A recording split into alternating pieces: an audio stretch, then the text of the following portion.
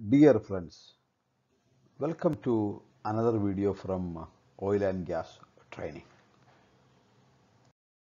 In this video, we are discussing about operation of uh, process equipment, how to operate uh, process equipments, various equipments like a separator, pump, compressor, heat exchanger, safely and efficiently. Welcome to this video. Operation of uh, process equipments. Uh, before uh, any equipment operation, we have to maintain a startup precautions or startup procedures are there. So we must follow the uh, standard operating procedure or how to operate, how to start safely and efficiently. So startup an item or of equipment. Operators must be able to follow procedures to start up equipment in safe and efficient manner that avoids damage to equipment, process upset, excessive waste and injury to personnel. So we will discuss on uh, pre-start checks. Before starting any item of equipment, pre-start checks must be carried out to prevent damage, equipment damage, uh, prevent the injury to personnel, prevent the process trips. Uh, prevention of uh, equipment uh, damage. To prevent the equipment damage on startup, pre-start check must be made to ensure equipment is uh, mechanically or uh, electrically complete. Oil level and uh, coolant level is correct in rotating machinery. Oil systems and uh, coolant systems are operational valves are lined up to ensure equipment does not run dry or is not damaged on startup due to high temperature or pressure.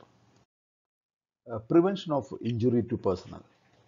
To prevent uh, possible injury to personnel during startup, the operational status of uh, safety systems must be checked such as uh, fire water system, uh, vent and relief system, emergency shutdown systems, alarm systems, interlock systems and uh, thermal insulation.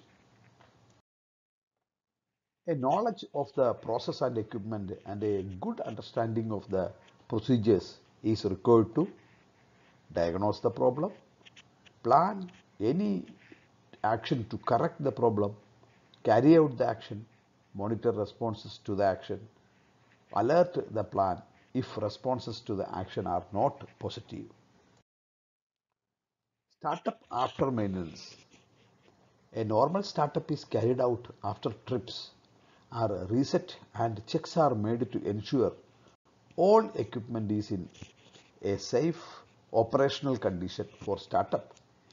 When starting equipment after maintenance, checks are required to ensure maintenance work is safely completed and equipment is ready for startup. When starting after maintenance, check must be made to ensure all work permits are signed off, spades and blinds have been removed from equipment lines, all lines are uh, connected, lines and vessels are purged to remove air, block valves are uh, in the correct operation position, instrument lines are uh, connected, control valves are uh, installed correctly, safety valves and pressure relief valves are correctly set and installed. Vessels that were drained during maintenance are refilled. Pumps are operational and primed during startup. Gauges and instruments must be closely monitored to ensure all flows, level, pressure and temperature are carefully monitored. Equipment is brought up to operating parameters in the minimum allowable time for safe operation. Any process which may be affected by the startup is being monitored.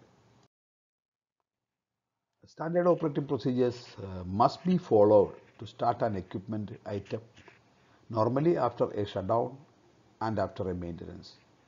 Bringing equipment to normal operating parameters when starting up equipment, flow rates or throughput should be gradually and steadily built up to the normal operating parameters. any changes to operating parameters should be made gradually so that the effect of the changes can be monitored and corrective action taken if required. A sudden change, a sudden large change in a parameter can cause process excursion leading to wastage of raw materials, production of uh, off-spec materials, equipment trip or shutdown, equipment downtime, increased production costs, damage to plant, environmental impact, and potential personal hazard.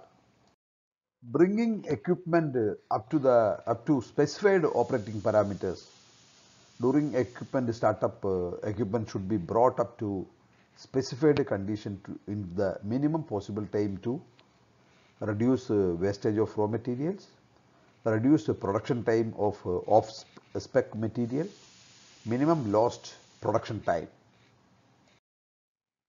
The minimum possible startup time must allow temperatures, uh, pressures and flows to gradually build up to specified value as any sudden heating of equipment can cause uh, distortion or cracking of components.